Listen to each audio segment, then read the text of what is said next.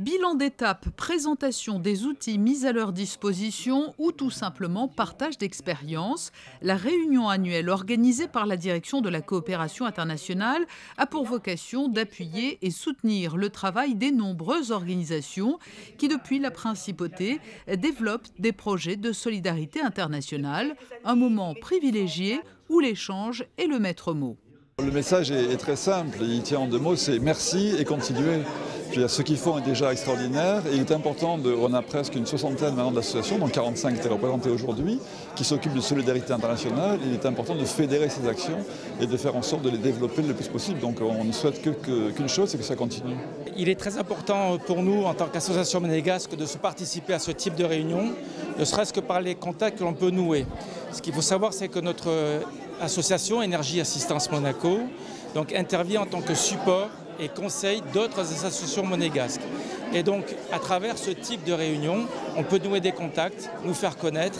et, je dirais, exposer un petit peu toutes les problématiques dans le domaine des énergies, qui sont souvent très difficiles à résoudre au niveau des associations. Aujourd'hui, il est de plus en plus difficile de travailler dans certains pays en crise ou en guerre. Mission Enfance, l'une des plus anciennes associations de Monaco, est notamment présente en Syrie et sa directrice, qui rentre tout juste de ce pays, est venue prodiguer de précieux conseils, forte d'une expérience de terrain de plusieurs années. Je trouve que c'est intéressant parce que d'année en année, euh, le flot d'associations euh, s'amplifie,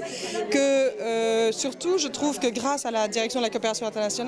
les ONG se professionnalisent et c'est important aussi de se professionnaliser parce que la générosité, mais quand elle n'est pas suivie euh, d'actes concrets ou réfléchis, euh, peut faire plus de mal que de bien. Je crois que nous, ici, nous sommes des médiateurs en fait entre deux mondes, entre un monde en souffrance et un monde euh, occidental qui, a priori, en tout cas économiquement, va mieux.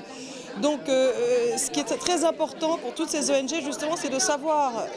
quelles sont les, deux entités entre lesquelles elles se trouvent médiatrices et à travers et connaître sur place, identifier sur le terrain